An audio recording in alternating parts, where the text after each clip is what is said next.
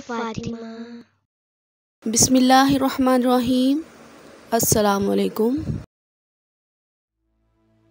जिब्रान नाम का मतलब क्या है और नाम का इंतखब करते वक्त किन बातों का ख्याल रखना चाहिए? ये नाम उर्दू और इंग्लिश में कैसे लिखा जाता है, ये आप अपनी स्क्रीन पर देख सकते हैं। इस नाम का इब्तदाई ताल्लुक अरबी ज़ुबान से निकलता है। मज़हब है इस्लाम, यानी इस नाम का शुमार मुस्लिम नामों में किया जाता है।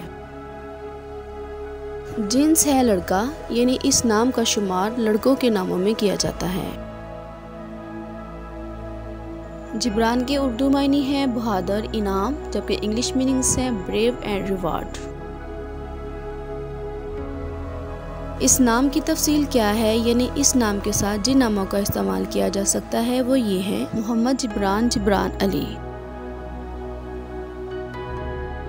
इस नाम का ज़्यादातर इस्तेमाल जिन ममालिक में किया जाता है। इनमें से नंबर एक पर है मोरिशियस, नंबर दो पर है पाकिस्तान और नंबर तीन पर है कीनिया।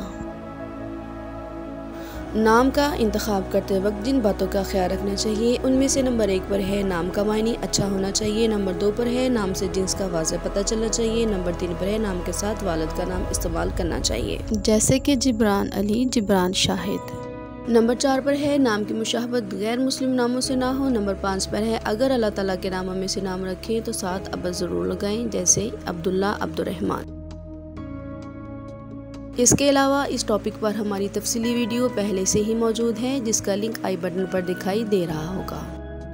अगर आपको हमारी वीडियो पसंद आए तो इसे लाइक करें, शेयर करें और हमारे चैनल को सब्सक्राइब करें। अब दीजिए इजाज़त, अपना और अपने प्यारों का ख्याल रखें, खुश रहें और दूसरों को भी खुश रखें। फ़ी अमान